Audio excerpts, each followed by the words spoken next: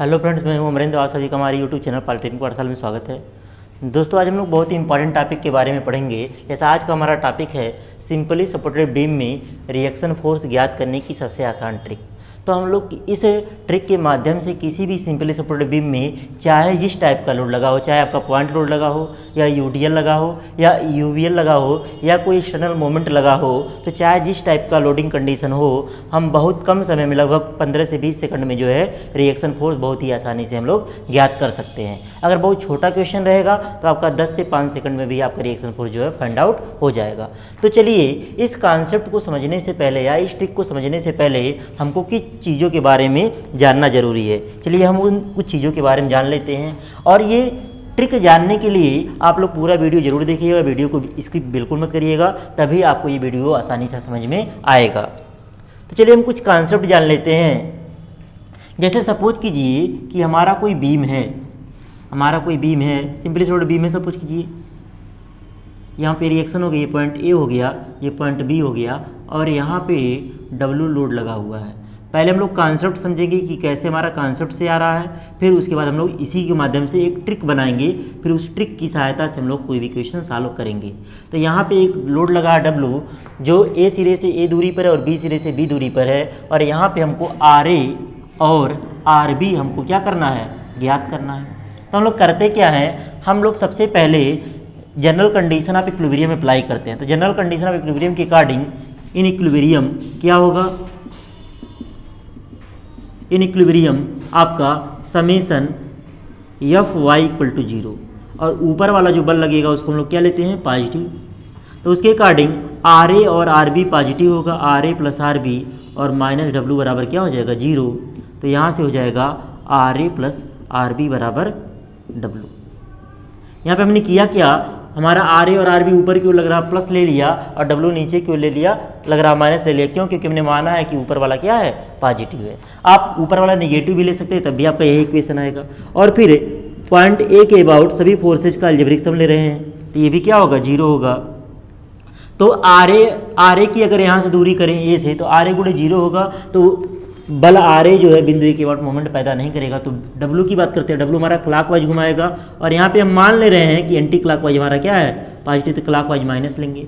तो हो जाएगा माइनस डब्लू और दूरी क्या होगा इंटू ए और प्लस हो जाएगा आर बी और दूरी क्या हो जाएगा ए प्लस बी ये प्लस लेंगे आर बी क्यों? क्योंकि पॉइंट ए के बाउटी क्या होगा? एंटी क्लॉकवाइज घूमेगा। इक्वल टू क्या हो जाएगा? ज़ीरो तो यहाँ से आपका आ गया R B into A plus B बराबर डब्लू तो यहाँ से आपका आ गया आर बी बराबर W upon A plus B तो यहाँ से आर बी का मान आ गया। आर बी का मान यहाँ से यहाँ पे डब्लू इंटू ए होगा तो आर बी का मान आ गया W into A upon A plus B अब क्या करेंगे? आर बी का मान हम लोग इक्वेशन वन में पुट करेंगे। जो इक्वेशन वन में पुट करेंगे आर बी का मान तो हमारा आर ए जो आएगा, ये आ जाएगा W into B upon A plus B तो ये हमारा कॉन्सेप्ट से आर ए और आर ए बी का वैल्यू आ गया। तो यहाँ से हम लोग फार्मूला बना सकते हैं कि जब हमको आर ए का मान निकालना होगा तो आर ए हमने कैसे निकाला? आर ए हमने निकाला, ये बल डब्लू लिया।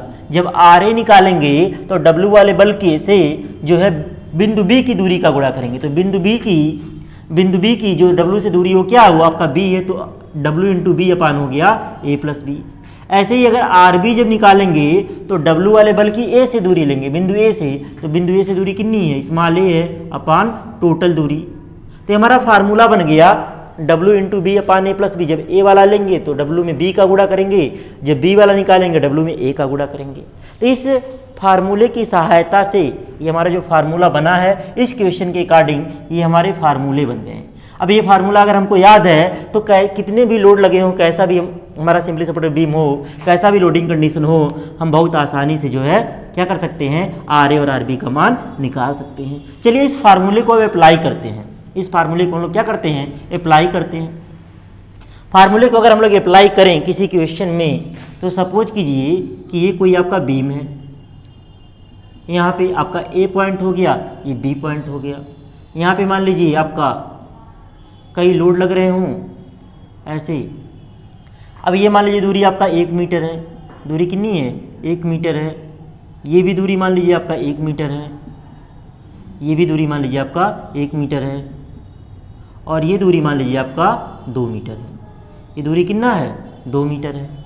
अब सपोज़ कीजिए कि यहाँ पे आपका 10 किलो न्यूटन का लोड लग रहा है, यहाँ 20 का लग रहा है, और यहाँ पे मान लीजिए 40 का लोड लग रहा है, या 50 का लग रहा है। यहाँ 50 किलो न्यूटन का लोड लग रहा है। अब आपको आर ए और आर बी ज्ञात करना है। अब आर ए और आर बी ज्ञात करने के लिए वही वाला फार्मूला, जब आर ए निकालेंगे तो ये वाला बल लेंगे दस। दस बल लेंगे और दूरी किससे लेंगे? बिंदु बी से। बिंदु बी से इसकी दूरी कितनी है? चार। तो दस गुड़े चार बटे टोटल दूरी जो आपका पाँच। और प्लस ऐसे ही बीस लेंगे। बीस गुड़े यहाँ से दूरी कितना हो गया? तीन हो गया। और बटे क्या हो जाएगा टोटल दूरी पाँच? और प्लस ये बल लेंगे पचास। पचास की इस बिंदु बिंदु बी से दूरी जो कितनी है? दो है। अपान क्या हो जाएगा? टोटल दूरी पाँच। तो ये हो जाएगा चालीस और प्लस साठ और प्लस पचास दूनी सौ बटे पाँच। तो साठ, चालीस, सौ और सौ, दो सौ बराबर दो सौ बटे पाँच। दो सौ बटे पाँच बराबर आ गया चालीस किलो न्यूटन। ऐसे ही अगर आर बी निकालेंगे तो जब ये वाला बल लेंगे, दस वाला तो दूरी किससे लेंगे? बिंदु ए से। बिंदु ए से दूरी क्या होगी? वन। जैसे हमारा ये चार है तो ये वाली दूरी किससे हो जाएगी? वन। इसी को देख करके हम लिख देंगे बटे पाँच। प्लस ये बीस हो गया बल, और दूरी ये तीन है तो इधर से दूरी कितनी होगी? दो बटे पाँच। और प्लस ये हमारा पचास, इधर से दूरी कितनी हो जाएगी? तीन बटे पाँच, बिंदु ए से दूरी तीन। तो यहाँ से हो जाएगा दस प्लस चालीस, और प्लस डेढ़ सौ बटे पाँच। तो डेढ़ सौ और पचास कितना हो जाएगा? दो सौ बटे पाँच। दो सौ बटे पाँच तो ये भी हमारा क्या आ गया? चालीस किलो न्यूटन आ गया। तो अगर एक हमारा आया चालीस तो दूसरा वाला वैसे ही मौखिक कर सकते हैं। अगर हमारा आर ए हमारा चालीस आ गया, आर ए चालीस किलो न्यूटन आ गया तो देखने से लग रहा टोटल लोड अस्सी है तो दूसरा वाला लोड आर आर बी का मान भी कितना हो जाएगा? हमारा चालीस ही हो जाएगा। तो इस प्रकार से देखें तो हम इस ट्रिक की सहायता से बहुत आसानी से जो है हम लोग क्या कर लिए आर ए, आर बी का मान निकाल लिए मतलब हमको जनरल कंडीशन ऑफ़ इक्विलिब्रियम लगाने की आवश्यकता नहीं पड़ी। अब इसी में हम थोड़ा सा लोडिंग कंडीशन चेंज करते हैं। अब लोडिंग कंडीशन हम चेंज करते हैं। अब मान लीजिए कि हमारा इसी में यूडीएल लगा हुआ है ऐसे। यहाँ पे क्या लगा हुआ है? यूडीएल लगा हुआ है। यूडीएल लगा हुआ है। और मान लीजिए जो यूडीएल लगा है, ये मान लीजिए कि 40 किलो न्यूटन पर मीटर का लगा है। 40 किलो न्यूटन पर मीटर का यूडीएल लगा हुआ है। कितनी लंबाई में लगा है? दो मीटर लंबाई में लगा। कितनी लंबाई में लगा है? दो मीटर लंबाई में लगा है। तो इसके अकॉर्डिंग इसका इफ़ेक्टिव लोड का एक कॉन्सेप्ट होता है। अब 40 किलो न्यूटन पर मीटर लगा है, दो मीटर लंबाई में लगा है तो टोटल लोड का मान कितना होगा? 80 होगा।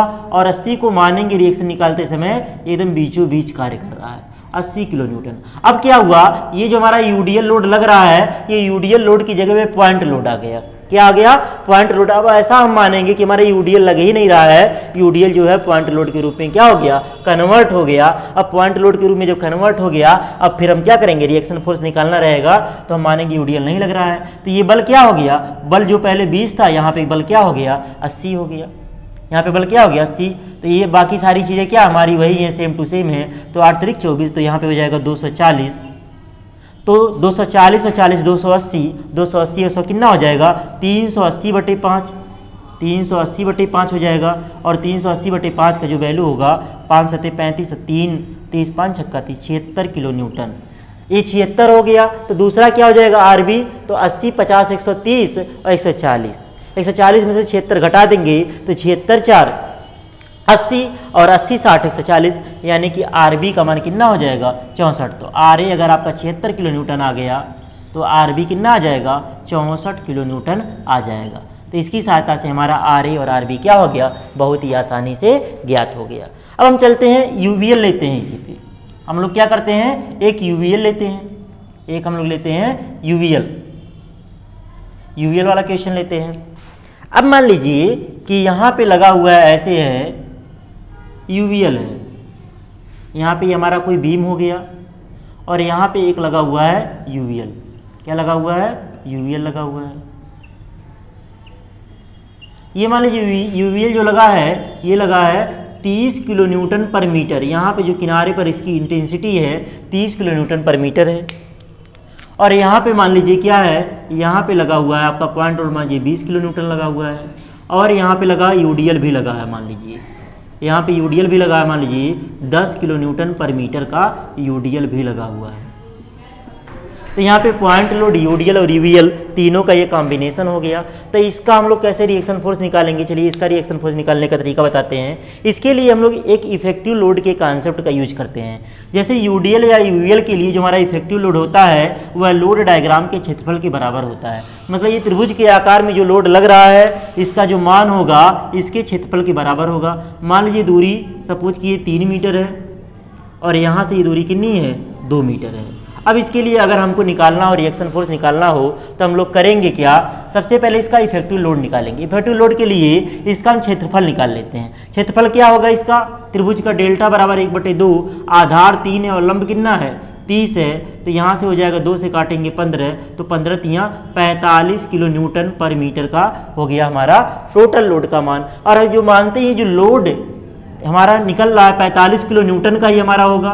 ये 45 किलो न्यूटन होगा लोड। ये जो लोड लगेगा, इसके त्रिभुज के गुरुत्व केंद्र पर कार्य करेगा। हम लोग जानते हैं त्रिभुज का गुरुत्व केंद्र जो होता है, शीर्ष से दो बटे तीन दूरी पर और आधार से एक बटे तीन। तो अगर हम इसको आधार माने, इस रेखा को अगर हम आधार मान लें तो यहाँ से एक बटे तीन तो तीन का एक बटे तीन कितना होगा? एक मीटर होगा। तो यहाँ से एक मीटर दूरी पर क्या लगेगा? ये हमारा कार्य करेगा। एक मीटर दूरी पे। तो ये एक मीटर हो जाएगा तो यहाँ से ये कितना हो जाएगा? यहाँ से हो जाएगा आपका ये दो मीटर। तो ये हमारा हो गया, लोड कितना आया है? पैंतालीस किलो न्यूटन आया है। लोड आ गया पैंतालीस किलो न्यूटन। और ये हमारा जो यूडीएल दिया हुआ है ये यूडीएल को भी हम लोग क्या करेंगे? इफ़ेक्टिव लोड में कन्वर्ट कर लेंगे। 10 किलो न्यूटन मीटर कितनी लंबाई में? दो मीटर लंबाई में। तो टोटल बल हो जाएगा 20 किलो न्यूटन। और इसकी यहाँ से दूरी होगी, ये भी हमारा वन मीटर हो जाएगा। और ये भी दूरी हमारा कितना हो गया? वन मीटर होगा। तो ये दूरी हमारी वन वन मीटर आ गई। अब क्या कर सकते हैं? अब बहुत आसानी से हम लोग आर ए आर बी का मान निकाल सकते हैं, क्योंकि हमारा ये जो प्रश्न था पॉइंट लोड के रूप में कन्वर्ट हो गया तो तीन पॉइंट लोड हो गए तो आर ए बराबर अगर लिखेंगे तो पहला वाला बल हमारा बीस है। बीस की बिंदु बीस से दूरी कितनी है? बीस गुड़े चार बटे टोटल दूरी पाँच। और प्लस अगला वाला पॉइंट लोड जो हमारा बीस, इसकी यहाँ से दूरी कितनी है? तीन है, बटे टोटल दूरी पाँच। दोनों सपोर्ट के बीच की दूरी। प्लस हमारा पैंतालीस, यहाँ से दूरी कितनी है एक, बटे टोटल दूरी पाँच। अब इसको साल को लीजिए बीस चौक अस्सी, प्लस बीस तीन साठ और प्लस ये पैंतालीस, और टोटल सबका क्या हो जाएगा, जैसे ये पाँच ही होगा तो अस्सी साठ, एक सौ चालीस, एक सौ चालीस, एक सौ चालीस, एक सौ अस्सी, पाँच, एक सौ पचासी बटे पाँच तो काटेंगे तो पाँच तीन पंद्रह, तीन, पाँच सत्य पैंतीस। सैंतीस किलो न्यूटन ये आ गया तो आर बी का मान क्या होगा? आर बी का मान इन तीनों को जोड़ लेंगे, बीस बीस, चालीस, और चालीस चालीस, अस्सी, पचासी पचासी में से सैंतीस घटा देंगे।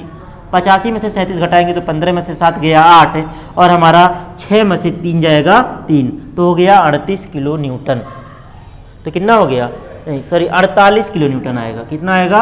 अड़तालीस किलो न्यूटन आएगा। सात में से पाँच गया दो सॉरी सात में से पाँच गया दो, आठ में से तीन गया, पाँच सॉरी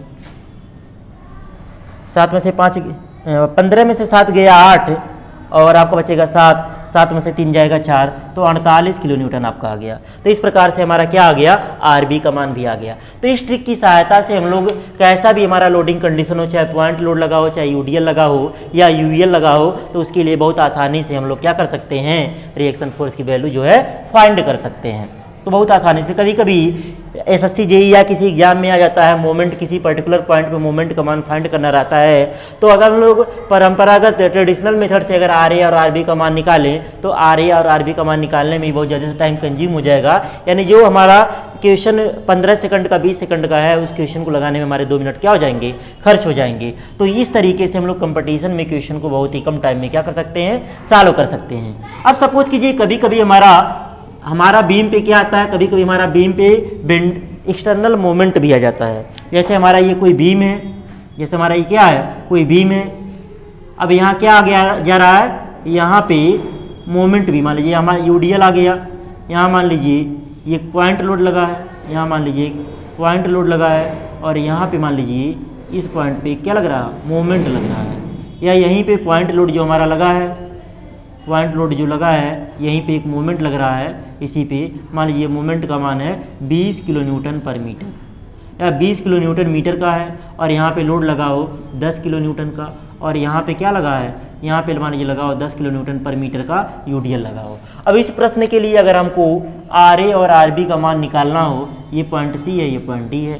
तो हम लोग कैसे निकालेंगे? अब इसके लिए भी हमें हमारा, मान लीजिए यहाँ से ये दूरी है हमारा दो मीटर है। और यहाँ से ये दूरी जो है हमारा एक मीटर है और यहाँ से ये दूरी मान लीजिए दो मीटर है। अब इसके लिए हमको आर ए आर बी का मान निकालना है। तो जो हमारा मोमेंट के कारण जो हमारा रिएक्शन आता है सपोज़ कीजिए कि, कि कोई ये बीम है कोई ये बीम है और यहाँ पे क्या लगा हुआ है? यहाँ पे सपोर्टेड है इस प्रकार से। इस प्रकार से क्या? सपोर्टेड है। और यहाँ पे मान लीजिए कोई मोमेंट लगा हो मान लीजिए 10 kilo newton per metre 10 kilo newton metre का और दूरी मान लीजिए ये है पाँच मीटर है तो इसके कारण जो रिएक्शन का मान आता है, वो रिएक्शन जो होता है यम बाई एल के बराबर होता है। यानी मोमेंट का मान 10 लंबाई पाँच तो पाँच दूनी दो। दो किलो न्यूटन का रिएक्शन आएगा। लेकिन यहाँ पे ये चूँकि दबा रहा है तो रिएक्शन जो आएगा, यहाँ पे उसका डायरेक्शन क्या होगा? ऊपर की ओर होगा और यहाँ पे डायरेक्शन नीचे की ओर होगा। तब ये दोनों रिएक्शन क्या करेंगे? ये भी दो किलो न्यूटन होगा और ये भी दो किलो न्यूटन होगा और ये दोनों क्या करेंगे? एक कपल लगाएँगे। कपल का फॉर्म कपल बना रहे हैं और उस कपल का जो मोमेंट का मान होगा, वो भी दो गुड़ी दूरी क्या पाँच के बराबर होगा। यानी दस किलो न्यूटन का जो हमारा ये मोमेंट लग रहा है तो इसके कारण इस दोनों सपोर्ट पे एक रिएक्टिव मोमेंट आएगा, जिसका मान हमारा दस किलो न्यूटन मीटर के क्या होगा? बराबर होगा, बस उसकी डायरेक्शन क्या होगी? इसके जस्ट अपोजिट होगी। तो अगर रिएक्शन का मान निकालना हो तो अगर कहीं पे एक्सटर्नल मोमेंट आ रहा है तो इसके कारण जो रिएक्शन का मान आएगा, दोनों सपोर्ट पे, वो यम बाई एल के क्या होगा? बराबर होगा। तो ये हमारा कोई प्रश्न है। इसके लिए हमको क्या निकालना है? आर ए और आर बी का मान हमको निकालना है। अब आर ए और आर बी का मान निकालना है। जब आर ए का मान निकालेंगे तो इसके लिए जो रिएक्शन का मान आएगा मोमेंट के कारण, यहाँ पे भी एम बाई एल होगा और इधर क्या होगा? इधर नीचे की ओर क्या होगा? एम बाई एल होगा। तो अगर देखें तो आर ए का मान अगर इस वाले के कारण निकाले तो इसका इफ़ेक्टिव लोड अगर निकालेंगे तो कहाँ पे आएगा? दस दूनी बीस किलो न्यूटन का आएगा और यहाँ से ये दूरी कितनी होगी? यहाँ से ये दूरी हो जाएगी एक मीटर। तो इधर से ये दूरी कितनी हो जाएगी? चार मीटर हो जाएगी। तो आर ए बराबर बल पहला बीस लेंगे और दूरी कितना हो जाएगा? बीस गुड़े चार बटे पाँच। और फिर प्लस क्या होगा? प्लस आपका हो जाएगा दस। और दस की इससे दूरी कितनी है? दो बटे पाँच। और जब हम आर ए निकालेंगे, चूँकि आर ए पे जो रिएक्शन आ रहा है, ये नीचे की ओर है तो यहाँ पे नीचे की ओर minus M by L M का मान 20 है और यल का मान क्या है? पाँच है। तो इसके अकॉर्डिंग यहाँ पे दूरी का गुड़ा नहीं करेंगे तो यहाँ पे हो जाएगा सी प्लस बीस और माइनस बीस बटे पाँच। तो यहाँ से बीस से बीस कट जाएगा, पाँच से अस्सी भाग देंगे, आ गया सोलह किलो न्यूटन ऐसे ही अगर हम जब आर बी निकालेंगे तो आर बी का मान क्या होगा?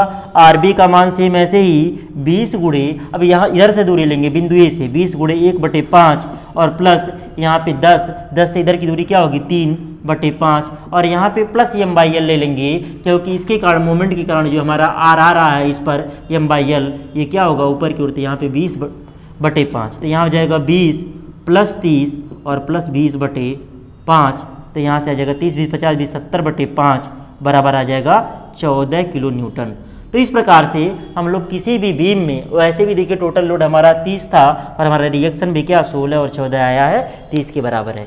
तो इस ट्रिक की सहायता से हम किसी भी सिंपली सपोर्टेड बीम में क्या कर सकते हैं रिएक्शन फोर्स का मान आसानी से निकाल सकते हैं। तो आशा करता हूँ आपको ये वीडियो पसंद आया होगा और अगर आपको वीडियो पसंद आया होगा तो कमेंट करके ज़रूर बताइएगा और साथ ही ये भी कमेंट करिएगा कि अगला वीडियो में मास में या स्ट्रेंथ ऑफ़ मटेरियल में किस टॉपिक से बनाऊँ जिसमें आपको प्रॉब्लम हो, जिस भी टॉपिक की आपको ट्रिक जानने की आवश्यकता होगी, वो कमेंट बॉक्स में करके बताइएगा।